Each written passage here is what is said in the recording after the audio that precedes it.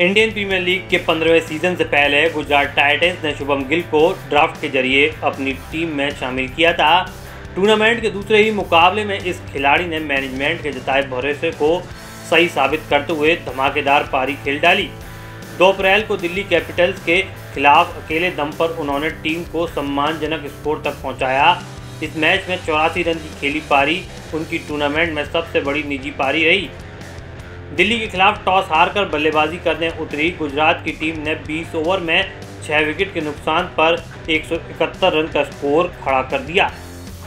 इस स्कोर में टीम के बाकी बल्लेबाजों का योगदान सतासी रन का रहा, जबकि अकेले शुभम गिल ने चौरासी रन बनाए।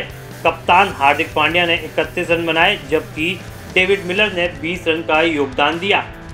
गिल की पारी की बदौलत ही टीम इस स्कोर तक पहुँचने में कामयाब हुई।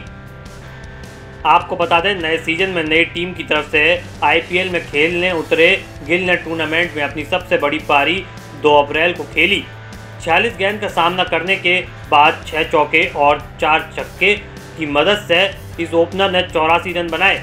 गिल सत्रह दशमलव एक ओवर तक मैदान पर डटे रहे और एक छोर को संभाल रखा। आपको बता दें, गुजरात टाइटन्स के लिए इस मैच में पारी का आगाज़ कर रहे शुभमन गिल ने छियालीस गेंदों का सामना कर छः चौके और चार छक्कों की मदद से चौरासी रन की पारी खेली, जो उनके आईपीएल करियर का सबसे बड़ा निजी स्कोर है।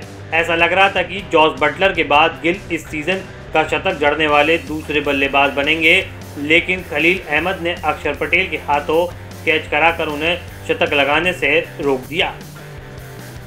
इस खबर में फ़िलहाल इतना ही। बनरिया बंदिया हिंदी के साथ।